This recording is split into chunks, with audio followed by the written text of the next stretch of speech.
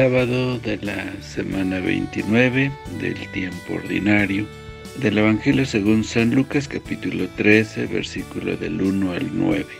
En aquel tiempo algunos hombres fueron a ver a Jesús y le contaron que Pilato había mandado matar a unos galileos mientras estaban ofreciendo sus sacrificios. Jesús les hizo este comentario. ¿Piensan ustedes que aquellos galileos porque les sucedió esto, eran más pecadores que todos los demás Galileos? Ciertamente que no. Y si ustedes no se convierten, perecerán de manera semejante. Y aquellos 18 que murieron aplastados por la torre de, de Siloé, ¿piensan acaso que eran más culpables que todos los demás habitantes de Jerusalén? Ciertamente que no. Y si ustedes no se convierten, perecerán de manera semejante. Entonces les dijo esta parábola. Un hombre tenía una higuera plantado en su viñedo. Fue a buscar higos y no los encontró. Dijo entonces el viñador, mira, durante tres años seguidos he venido a buscar higos en esta higuera y no los he encontrado. Córtala. ¿Para que ocupa la tierra inútilmente? El viñador le contestó, Señor, déjala todavía este año. Voy a aflojar la tierra alrededor y, echarle abono, para ver si da fruto. Si no, el año que viene la cortaré. Palabra del Señor. Gloria a ti, Señor Jesús. Jesús ya había hablado de la posibilidad de una sentencia desfavorable en el tribunal de Dios a esta sentencia se añaden las presentes palabras referente al triste final que le espera a los que arreglan sus asuntos mientras están a tiempo.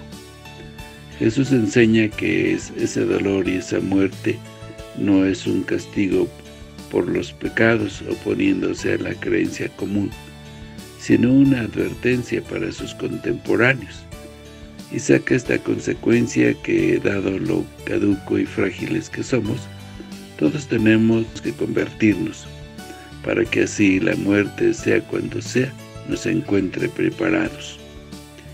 Mediante la parábola de la higuera sin frutos es un acontecimiento lleno de simbolismo. Jesús enseña que Dios da tiempo y auxilio para que la persona dé los frutos que Él espera de ella sin embargo, si persiste en su falta de respuesta, llegará el tiempo en que serán privados de todo. Menos mal que el viñador, Jesús, intercedió por ella y consiguió una prórroga de tiempo para salvarla. Este tiempo final de la historia de la salvación que inauguró Jesús, hasta que Él venga de nuevo, es tiempo de decisión personal y de frutos los propios de un seguimiento fiel y alegre del Señor, al que se espera. ¿Cuántas veces como consecuencia de enfermedades improvistas o de accidentes o de cataclismos naturales, experimentamos dolorosamente la pérdida de personas cercanas a nosotros? La muerte es un misterio y no es Dios quien la manda como castigo de los pecados en su plan no entra la muerte, pero lo que sí entra es que incluso de la muerte saca vida y del mal bien. Desde la muerte de Cristo, también trágica e injusta, toda muerte tiene un sentido salvador.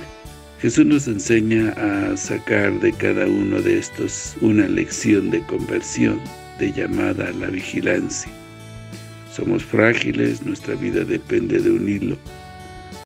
Este video ha llegado a ustedes gracias a Campusano Móvil, donde ofrecemos los servicios de desbloqueo, activación y reparación. Te activamos y reparamos el software de tu celular, tablet o computadora. Además, vendemos todo tipo de accesorios y recarga de todas las compañías. Vendemos tablets, celulares y computadoras. Estamos ubicados en la calle Sánchez número 10 en el ensanche Altagracia de Herrera. Teléfono 809-530-7327. Con su administrador, Michael Campusano.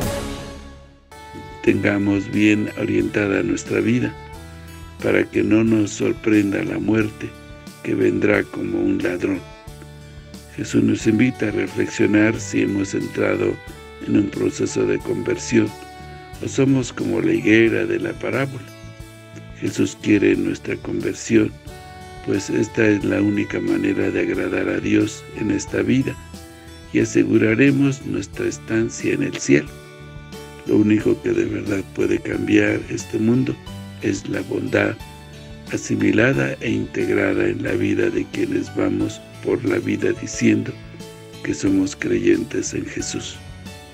Se nos ha insistido de muchas maneras, con retiros para evangelizarnos, nos ha enviado amigos para hablarnos de su plan de salvación y quizá nuestra respuesta ha sido yo estoy bien, no necesito de esto. Si hoy fuera mi último día en la tierra, encontraría el Señor frutos de bondad, de justicia, de amor, de perdón en mi vida. Aprovechemos nosotros también esta oportunidad para que nuestra vida dé frutos en abundancia. Esto no solo dispondrá nuestra vida para la eternidad, sino que además a los que viven con nosotros los haremos inmensamente felices. Lo mismo nos dice la parábola de la higuera estéril. Damos a Dios los frutos que esperaba de nosotros, y si nos llamara ahora mismo a su presencia, ¿tendríamos buenas obras?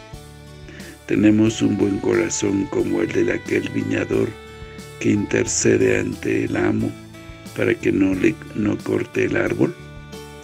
Nos interesamos por la salvación de los demás con nuestra oración y con nuestro trabajo evangelizador.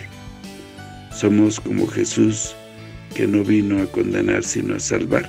Con nosotros mismos tenemos que ser exigentes. Debemos dar fruto. Con los demás debemos ser tolerantes y echarles una mano. Que el Señor los bendiga.